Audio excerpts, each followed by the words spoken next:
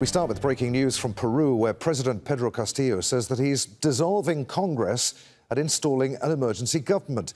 A state of emergency has also been declared and a curfew has been announced. The opposition had been debating whether to impeach the president for a third time.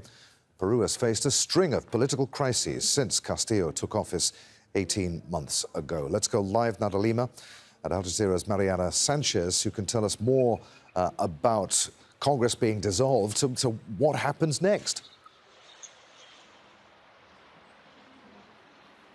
Well, Adrian, uh, uh, President uh, Pedro Castillo has indeed dissolved Congress. This is a, an auto coup, an auto coup d'etat, which uh, we have seen in 1992 when Fujimori, former President Alberto Fujimori, also dissolved Congress. Now, what has uh, uh, Castillo said? He has said that he will reorganize the judiciary, the prosecutor's office that has all these investigations that are uh, uh, that are pointing at him at criminal acts that he has committed.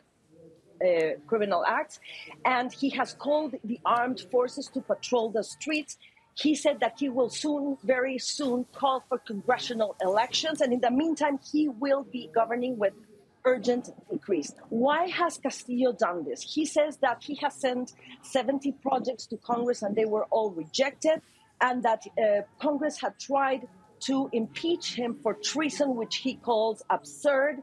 Uh, uh, he has indeed survived to two impeachment attempts uh, this year and last year. And uh, he said that Congress wanted, wants to impose a congressional dictatorship.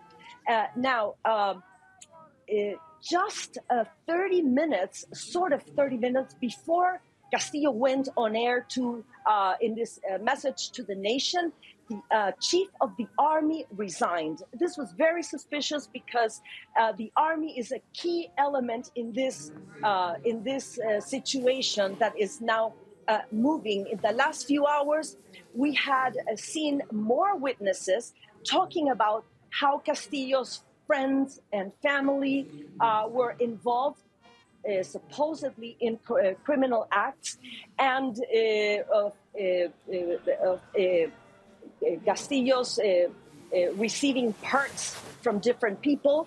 So the Congress at the same time was about to uh, begin a debate to impeach him in about two hours from now. They have uh, advanced the hour. They are now uh, in Congress uh, speaking, and it is possible that this that they could indeed unseat President Castillo. So it is a very very difficult situation. It is a very uh, it's uncertain, and uh, really the key here. Uh, Adrian, is we have to see what yeah. the military will do because it is impossible to have a coup d'etat here yeah.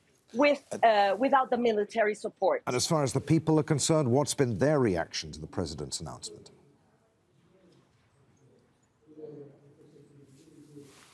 Well, there's some people in the streets who were uh, protesting in support of Castillo because of this um, uh, debate that was going to happen in a couple of hours. There's a lot of tension, there's calm, and uh, we have been seeing reports from different uh, army uh, barracks and different army bases that everything is calm. So we have to see if the army will support this, and also the um, uh, the Marines and uh, the Air Force. It won't happen just like that. It has to happen with all the uh, armed forces supporting Castillo. So we will see what what will happen in the next few minutes or hours. Really, it's it's uncertain uncertain what's happening right now.